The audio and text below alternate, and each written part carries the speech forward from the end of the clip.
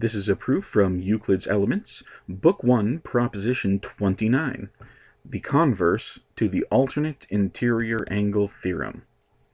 What this result says is that if we are given two lines, L and M, and these two lines are parallel, then for any transversal K, which cuts through them, the alternate interior angles are congruent.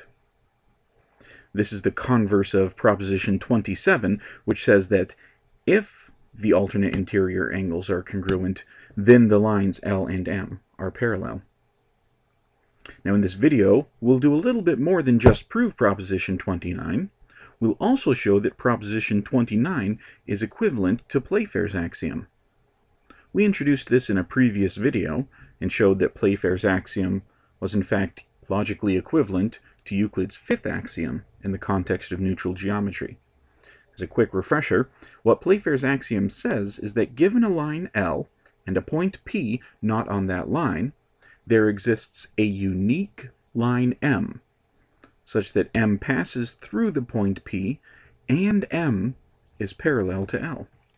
So in this video, we're going to actually prove two things. We'll prove that assuming Playfair's axiom, or assuming Euclid's fifth axiom, we can prove this proposition, which we'll refer to as the AIAT converse for short.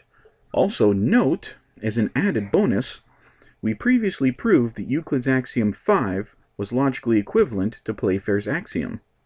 If we show that the AIAT converse is equivalent to Playfair's axiom, by transitivity, we'll also have a bonus result for free that the AIAT converse is equivalent to Euclid's fifth axiom.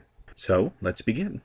First, we'll assume that Playfair's axiom is true, and we'll show that we can prove proposition 29. We start with two parallel lines, L and M, and a transversal K, which cuts through them. We want to show these two alternate interior angles, marked here with alpha and beta. We'd like to show that these two are congruent. Let's begin a proof by contradiction and assume that these angles are in fact not equal. Well, in that case, let's create another line n through the point P such that the angle that n makes with k, that angle is equal to alpha. Now, by an earlier proposition, proposition 27, the alternate interior angles theorem says that since n and L have alternate interior angles equal, both equal to alpha, then the lines L and N must be parallel.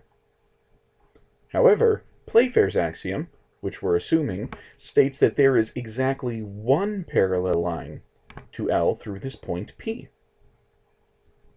Therefore, this line N cannot exist, which means that our original assumption, the angles alpha and beta were different, that assumption must be false, so the original angles, alpha and beta, were equal, and this is the conclusion of the alternate interior angle theorem converse. Next, we'll prove the reverse implication. We'll show that assuming the AIAT converse, that we can show Playfair's axiom is true. We begin with our line L and a point P not on L.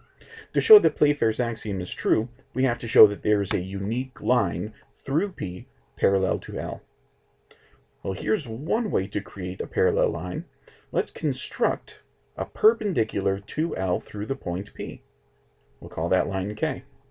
Next, we observe that any line parallel to L through this point P, we know that the alternate interior angles must be equal. This is what the AIAT converse theorem says. These two angles are equal, that means that M must be the perpendicular to K through P. There's only one line perpendicular to line K through the point P. Therefore, this parallel line is unique. There is only one parallel through this point. Why this is unique it wasn't really stated in Euclid's original list of axioms, but later on, when the mathematician David Hilbert introduced a new set of axioms to give a rigorous foundation for Euclidean geometry, one of his axioms, congruence axiom number 4, this axiom guarantees the uniqueness of this line. So, this completes the proof that the alternate interior angle theorem's converse, Euclid's proposition 29, is in fact logically equivalent to Playfair's axiom.